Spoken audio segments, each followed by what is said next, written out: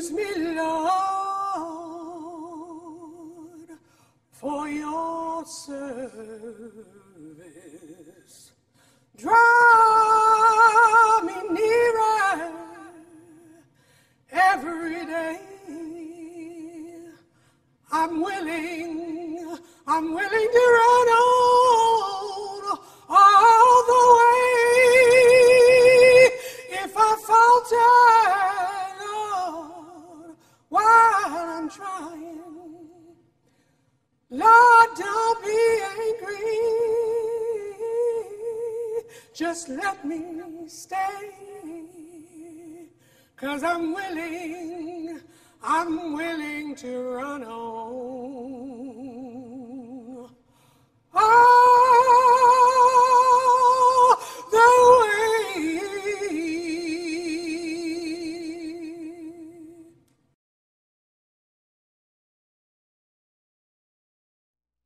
Good morning. Welcome to Salem Missionary Baptist Church, our virtual service.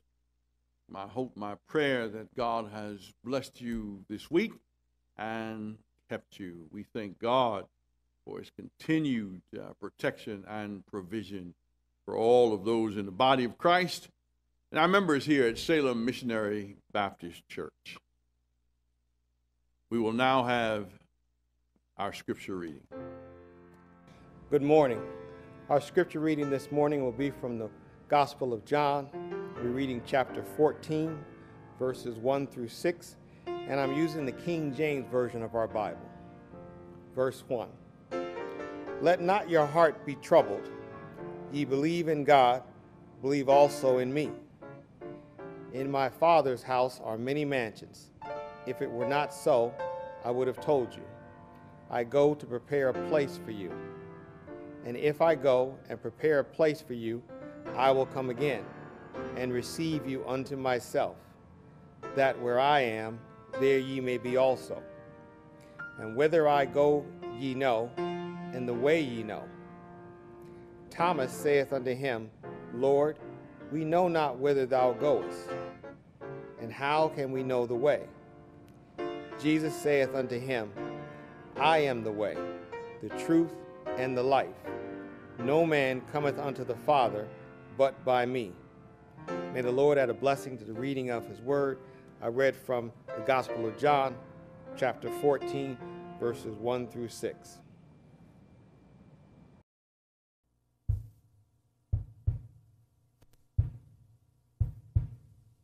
Lord, it's in you. Oh, Lord, I'm trusting. Lord, it's in you. Oh, Lord, I'm trusting. Lord, it's in you. Lord, I'm trusting. I'm trusting, in you. Lord, to see me through. Oh, the road may be rough, Lord. Oh, Lord, I'm trusting. The road may be rough, Lord. Oh,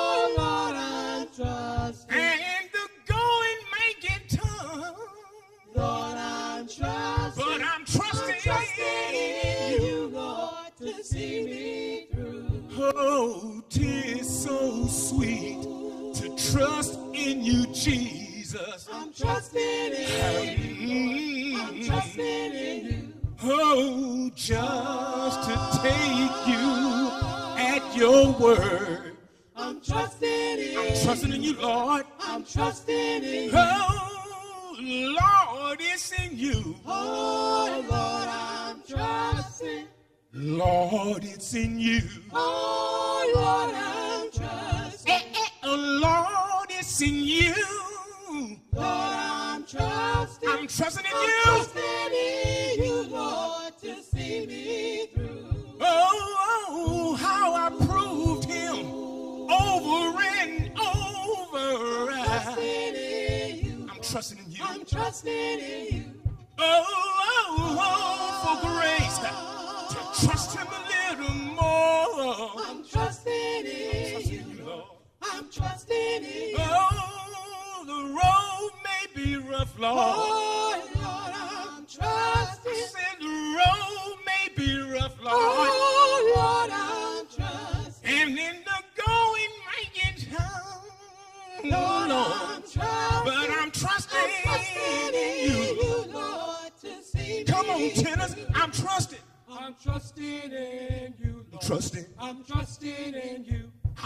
in you. Trusting in you. Yes, Lord. I am. Trusting. I'm trusting in you. I'm trusting in you. I'm trusting in you. I'm trusting in you. I'm trusting in you. Every day of my life, Lord, I. I'm trusting in you.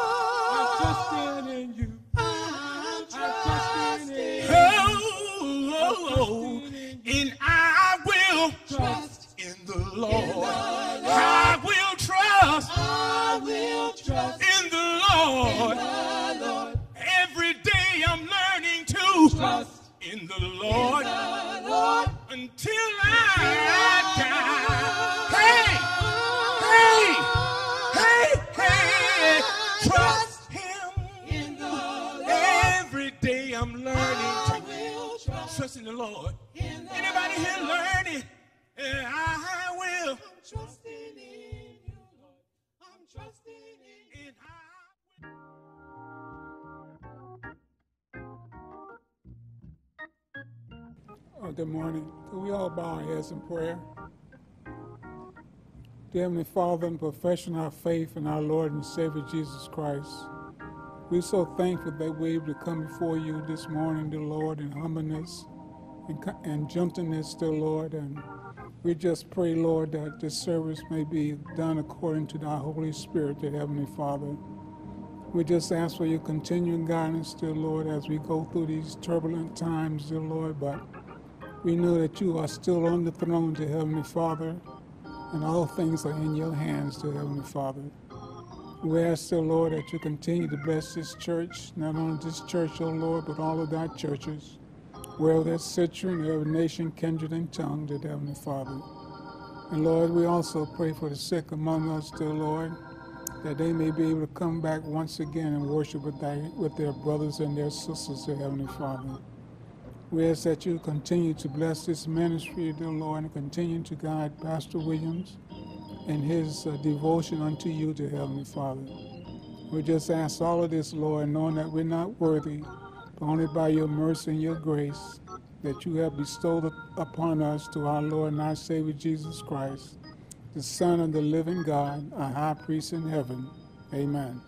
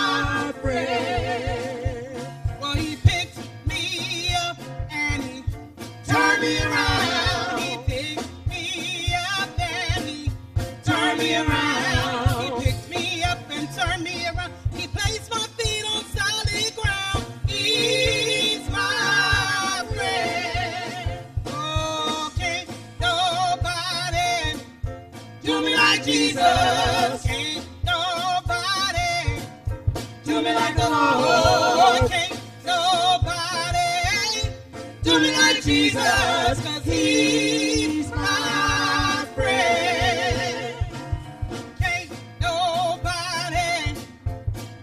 Like Jesus. Nobody do me like the Lord. Can't nobody do me like Jesus.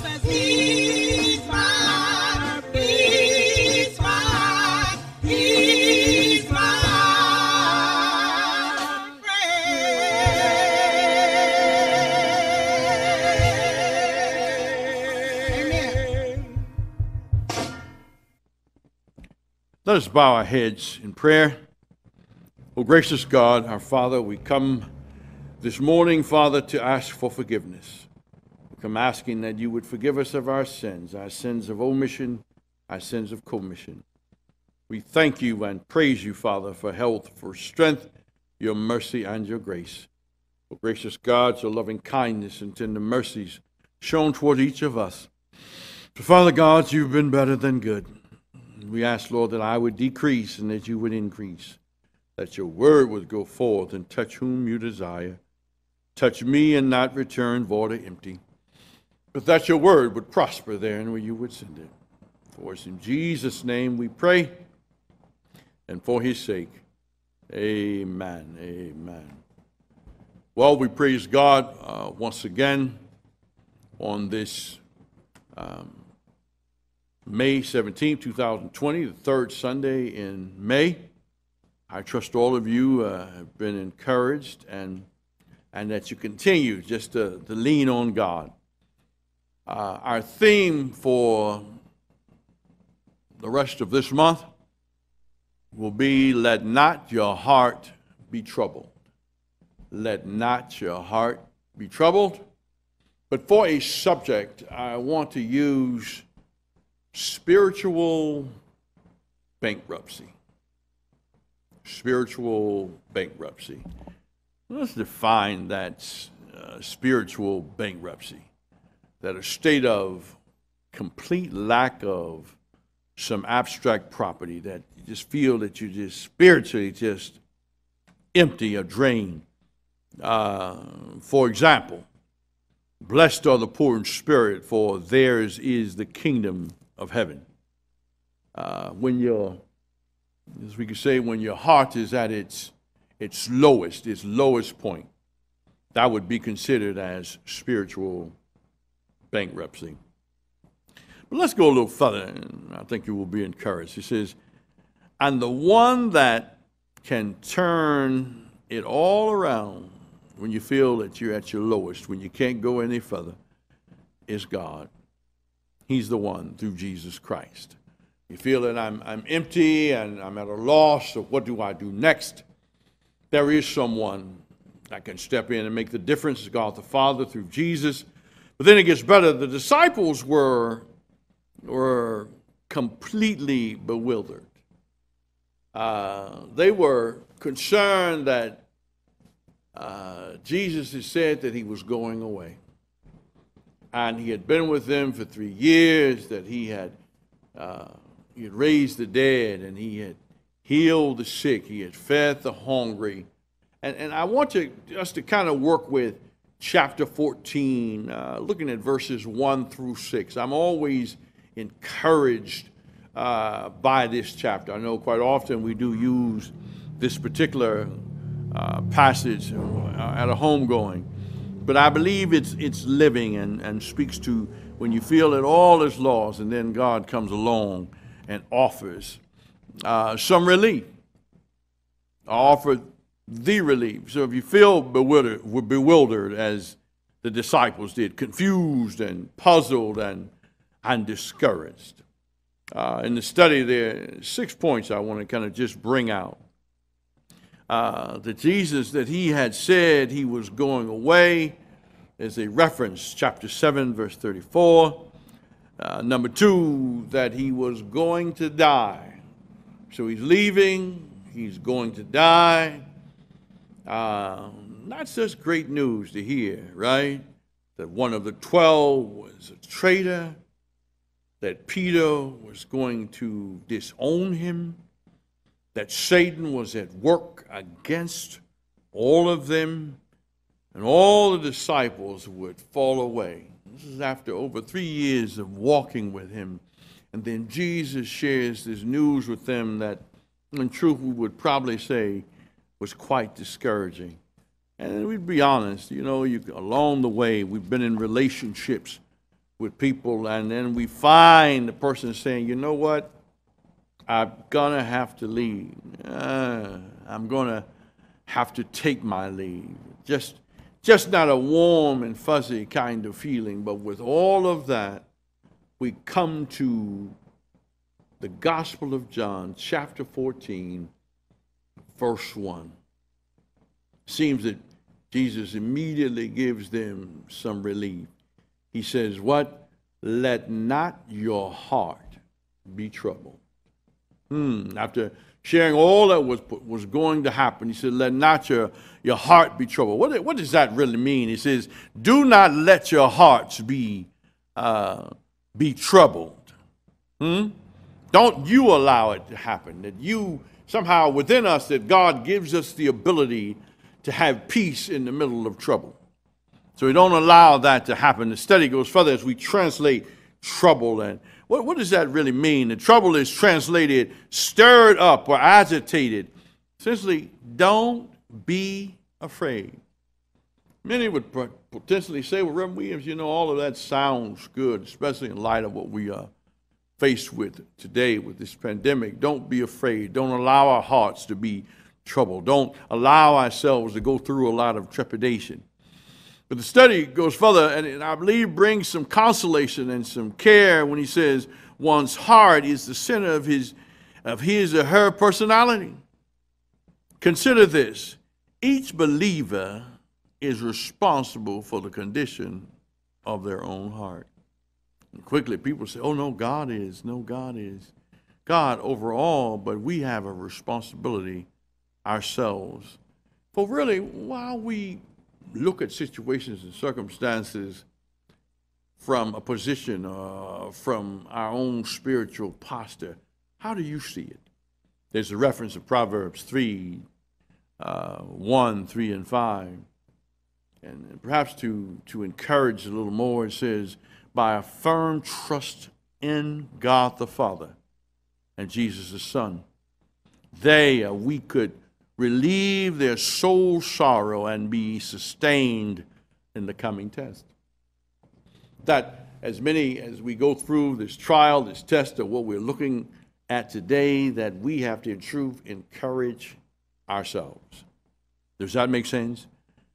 Um, I, I, I, think it does. I, I, I believe it does. That each day, as you say, well, I have a trust in God, that I'm holding on to Him and if we're holding on to God and we're trusting in Him, then we need to do what? We need to act like that. We need to act that way. Why? Why is that so important? Because somebody else is looking at you, perhaps in your own home. Somebody's looking at you, believer, you that were going to church every Sunday, you that talk about God and how He has protected and provided for you. He says, What? If ye believe in God, this is Jesus. He said, Then do what? Believe also in me. Say, if you believe in the Father, then believe also in me. Because it's firm trust in God the Father and Jesus the Son. They could relieve their soul sorrow and be sustained in the coming test. But it goes further. It says if you, if you can just hold on to that and where you just trust in God, because it's believing in God, believe also in me, really speak to, speaks to trusting in God. If you trust in Him, then Jesus is saying, trust also in me. Does that make sense? That in the darkest hour, we believe that, that, that the, the purpose of, of, of, of our love for God and our trusting in Him it helps us. Well, the unbeliever does not have that kind of cushion. Does that make sense? That kind of, hmm, someone to come alongside, the paraclete, which is the God, the Holy Spirit, as He comes alongside to comfort us. Comfort us through what, Reverend Williams? Comfort us through those dark times. Ah, in the darkest of times, that we can still see a glimmer of light. Does that make sense? That's good, anyhow, huh? But it gets just a little better. Let's move Jesus gives them some reassurance. He says, What? He says, In my Father's house. Always giving deference to the Father. Always turning the light off of Him back to the Father. In my Father's house are many mansions. Then he gives a conditional word, if. If it were not so, I would have told you. This is the part that I just love. He says, What? I go to prepare a place for you.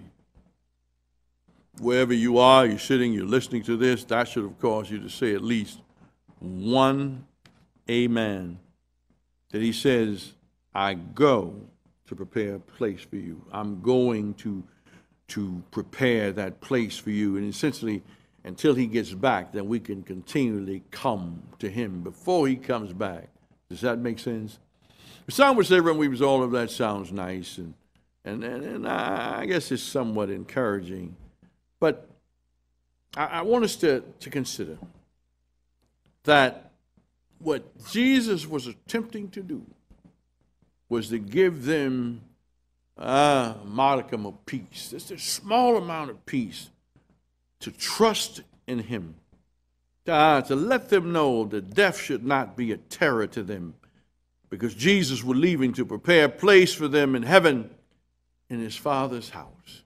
That He's not just leaving, not just dying without a purpose, but He's going to do something for them. Does that make sense? But it gets just a little better. Let's move a little.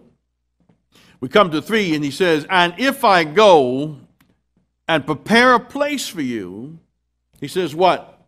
I will do what? I will come again.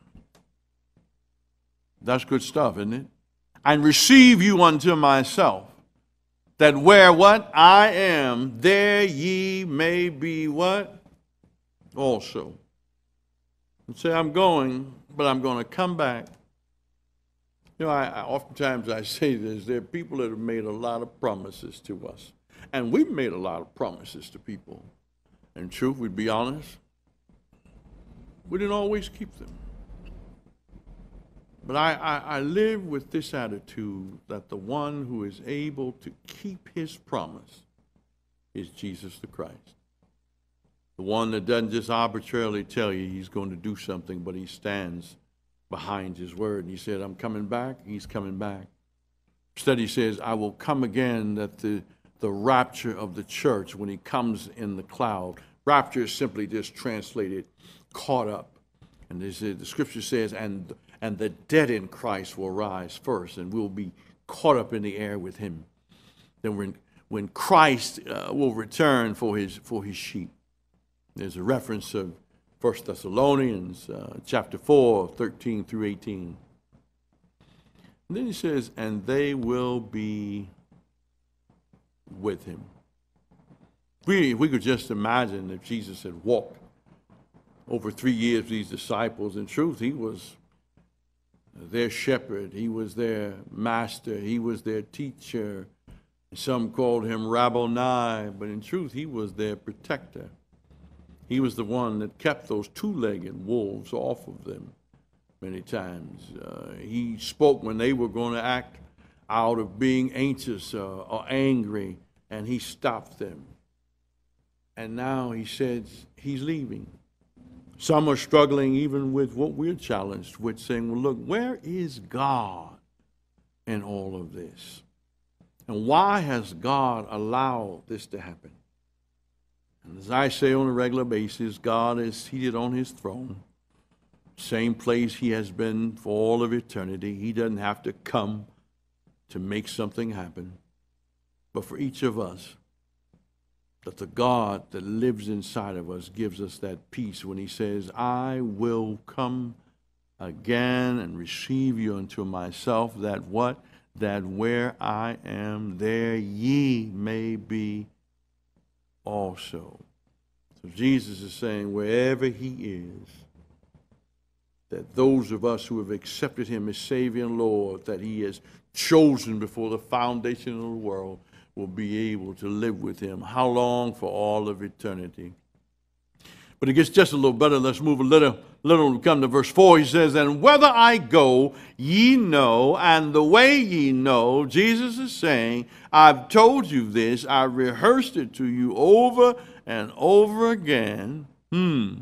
He shared with them, being with the Father is sufficient, and, and, and, and Jesus told them, You know the way to the place where I'm going.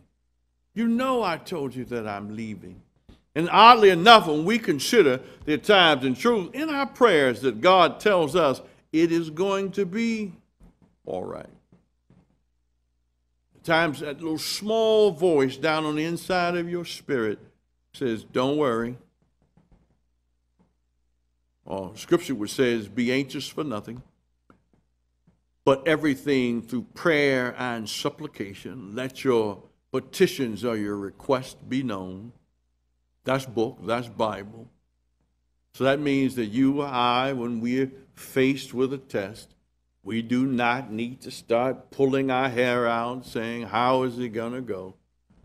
But engage God. Surrender more. Father God, I'm not getting the answers. I'm, I'm concerned. Talked about this before about considering pushing aside some food and praying to God. Set aside the television and talk to God. Set aside some time on an everyday basis. First, when He opens your eyes and you know that you're still in the world, that you can say, What? Thank you, Jesus, for giving me another day. Start right there. There's something about that peace, that unquestionable peace, that God is going to take care of things. Amen. But I guess just a little better. Let's move a little we come to verse 5, there's always somebody that doubts, though. There's always someone that is concerned or, or extremely concerned. And in truth, more of us are concerned than we actually will speak out. But in verse 5, we find one of the disciples doing just that. We call him Brother Thomas. Uh, uh, Doubting Thomas is one of the monikers that's put to his name. Thomas saith unto him, Lord, we know not whither thou goest. Yes, the question, and how can, how can we know the way? The study just simply says that Thomas simply reflected the perplexity of the eleven. They were all struggling. They didn't all have the nerve say, you know what, we're a little unsure. And yet Thomas speaks. Uh, they would remain puzzled with his death and resurrection, and until the advent of the Holy Spirit, they were still, mm, I know he told us. I know he told us he was going. I know he told us that he would come back. I know he told us that he would tear the temple down and he would rebuild it in three days. But there's something about this side. With all that we know, there's there's still a struggle with death on this side. It's so final on this side. And so we, we be honest, even in our world today, that we struggle with that. Say, well, I have a peace, Rev. I'm, I'm good. I'm good. And that's good if you do. But we all come to that place when loved ones pass before us. And, and in truth, that concern sometimes turns to, to fear. I guess the best remedy for that is to really call on God and say, Father God, I, I need that same grace, Lord, that you would allow me to tap into that, Father, that you've given me, Lord, at the point that I was saved. You, so you give all of us a reasonable portion, uh, Lord, of faith, and, and I need to be able to, hmm, to live in that. To live in that and trust you. Lord, not my will, but thy will so that I'm not puzzled at all about it. Lord, that, that you had given us the information and that you, you I, I believe you. I believe your word. You have kept me thus far. Father, you've protected my family. We think about us today, how God has kept us, our families. He's kept our loved ones. He's, he's kept our homes. He's kept our, our, our employment. He's kept these bodies. I've said this before, and I hope I'm not repeating myself, but when we sleep, that the heart and the lungs are involuntary muscles. You don't need to be awake and think that for those to function that God has set in place. And so if God's up all night, why should you or I be up all night walking up and down the halls saying, Lord, how is this going to work out? How am I going to work with it? How am I going to get through? Or tossing and turning in your bed. You can't rest. You can't sleep. You're up and down. I have an old saying, and, and I've held this for many years. If you're going to pray, don't worry. But if you just enjoy worrying, don't bother God with it. That seems kind of simple, huh? If you're going to pray, don't worry. Don't worry. Don't continue to entertain it. So I rebuke the devil in Jesus' name. So he tries to remind you that you need whatever you need. You need more money, or you need more love, or you need the love of your children, the love of your parents. You have a problem on the job that you don't have to just continue to just entertain it. That I'm going to lift that to the Lord. Does that make sense? But it gets better because the question when he says, he says, How can we know the way? And we come to verse 6. He says, Jesus saith unto him, and this is real simple. He says, I am the way. So embodied in Jesus Christ is the way. Does that make sense? He says, I'm the way, and then he says something else. I am the truth. Why is that significant? Because if we'd be honest, along the way, people have told us a lot of lies. They said, Come with me and you'll know the truth. Come with me, I wouldn't mislead you, and we've been misled. We be honest, along the way, we probably have misled some people. He said, I am the way, the truth, and the life. Hmm. Then he says, No man. This is a struggle for some because they figure there are all kind of ways into heaven. But the word says, No man comes unto the Father but by me. That we, we've got to go through Jesus Christ. That Jesus' words, I am the way and the truth and the life, are the sixth of Jesus' seven I am statements in the Gospel of John. Here's a question Why is Jesus the way? That's one perhaps for you in your own home to consider. Why is he the way? Here's the answer Jesus is the way because he is the truth and the life. He's the way because he's the truth and the life. I say this self, self say this to myself uh, on a regular basis. Now, that in truth it is in him, in Jesus Christ, that I live. It is in him that I move. It is in him that I have my being. You know, along the way, I'm in my early 60s now, and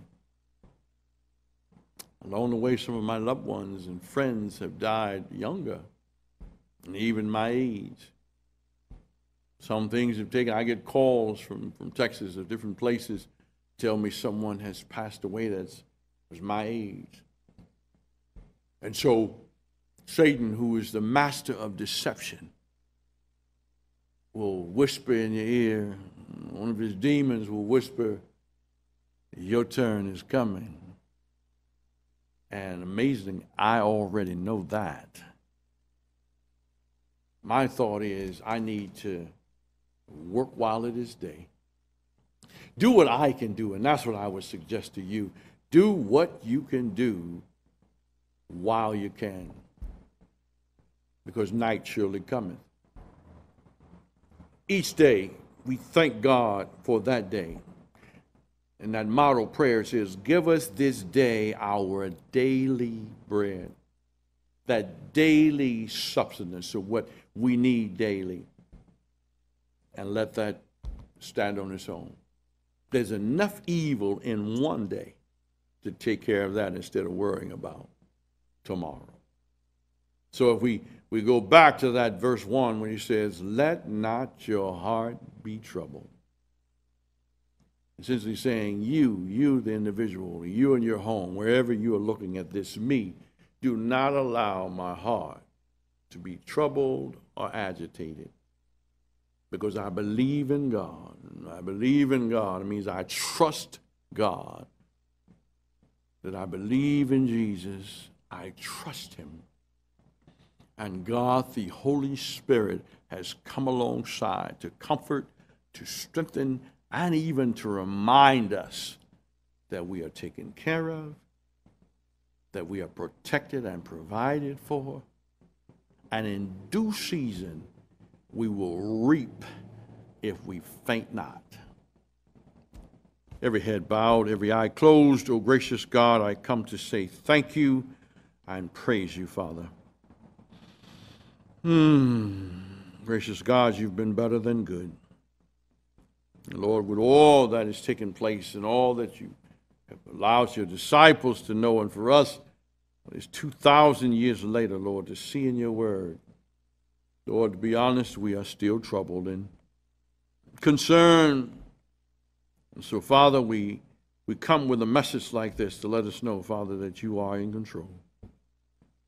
And, and through this season, that we would be just uplifted and just encouraged and thank you in advance for what you're going to do. Oh, gracious God, if there's anyone, wherever they are in their homes, that have never accepted Jesus as Savior and Lord, that the doors of the church are open. In your home, you have the ability to accept Jesus as Savior and Lord. Savior, that He would save you from hell and damnation, which is a literal place, and that He's Lord of your life, Lord of your decisions, Lord of your choices Lord, we are real grateful that you've given that opportunity. And then, if you do not have a church home, a place where you can be encouraged and compassion can be shown toward you and your family, Salem Missionary Baptist Church is a Bible believing, Bible teaching, Holy Spirit led church. If you have a church home in another city, you can still join with us under Watch Care Christian Experience you will be able to see our phone numbers on the screen, our address. Reach out to us. We'll be so happy to lead you to Christ, to welcome you into this body of believers at Salem Missionary Baptist Church. And if you just need prayer, you need prayer, you're more than welcome to call us. We're so happy to pray with you, believe God with and for you. We've done as commanded, O oh gracious God, and yet there is room. We thank you and praise you for the privilege in Jesus' name and for his sake. Amen. Here at Salem Missionary Baptist Church, we believe in tithing. We believe in, in, in giving, giving of your time, giving of your talents, giving of your treasure. And Father, you've been better than good to us. We hold fast to Malachi chapter 3. And the question is asked uh, where have you, we robbed you? The disciples asked Jesus, he said, You robbed me in tithes and offering. We just hold fast and believe that we give that 10% in offering and, and that God can do more with that 10% than we could do if we would keep the entire hundred. Because in truth, it all belongs to God. And then, as I say on a regular basis, it's really not about money but it is about obedience. Willing to give that which He has instructed back to His work. He takes care of our families, He takes care of our homes, He keeps our health, keeps our loved ones, He gives us the desires of our heart. I want to be in, in obedience. I've seen God work. I cannot say that it is easy to do it, but by faith. Faith is what? The substance of things hoped for, and the evidence of things that are not yet seen. I'd like to thank God for the offering. We thank you, Father, for those that continually to give. Lord, we thank you, Lord, for those that would mail their their tithes, their offerings in, those that drop by and drop it in the mailbox to bring those offerings to me on a Sunday, Lord, in which we're able to get those safely put away, are able to give online. We thank you, Father God, for giving us these different venues where our people can continue to worship. We thank God and praise Him for this service, something that I would normally do in our service the first Sunday of every month, and I have completely forgot, and that is to wish everybody born in a particular month happy birthday. So I want to say happy birthday to all of those that were born in May, to those that we missed in April. Uh, happy birthday. And it is a blessing for all birthdays this side of the grave. This now ends our service. May we bow. Word of prayer. Oh, gracious God, I thank you and praise you for all that you've done. Lord, uh, we ask, Father, that this week be a promising week, a protected week. We ask, Father, that you would provide for each of us, our families. We desire your very presence in our day-to-day walk. And Lord, you, you've, uh, you've kept us, Lord, in, in spite of how it looks. And Father, we continue, oh, gracious God, to lift all those families that loved ones have transitioned uh, during this pandemic from this virus. And Lord, we truly, we love you so much. And we thank you for all the love you shared towards each of us. Wherever you are, may we all repeat together, may the grace of our Lord and his sweet communion, may it rest and rule and abide with us, henceforth and forevermore. And they all said, Amen.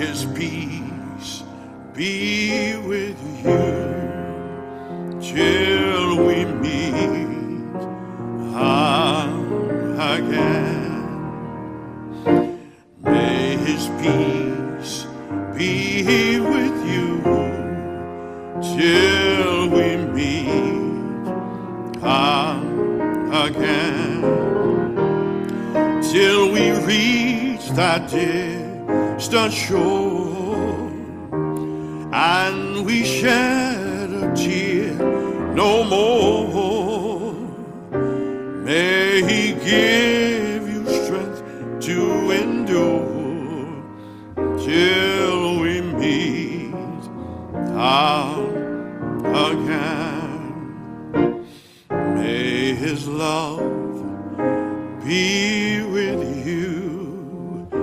till we meet. the